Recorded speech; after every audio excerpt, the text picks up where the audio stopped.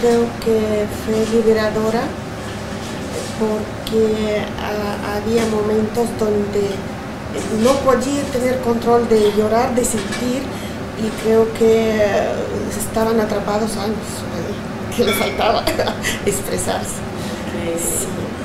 ¿Son sentimientos que, que estaban atrapados, dijiste?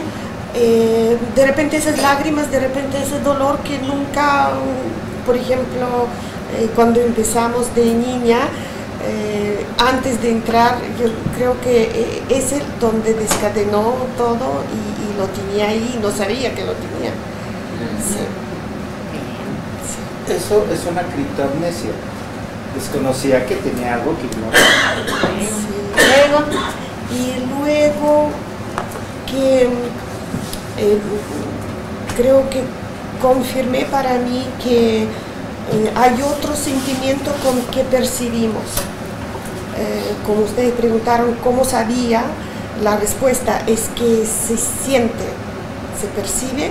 eh, puede ser que palabra que te llega y te llega y la misma y la misma. Entonces yo sé que entonces, mm, porque en otras ocasiones, eh, eh, cuando estoy despierta, no estoy bajo de hipnosis, me llega de esta forma también y, y no sé si estoy mal o, o que- o porque ahora sé que me reconfirmó que, que no es mío lo que llega.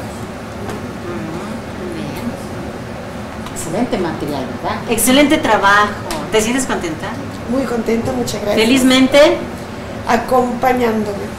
acompañada de mí. Ah, no, bueno, lo mismo. Acompañada de mí. Qué bien. Sí, muchas gracias.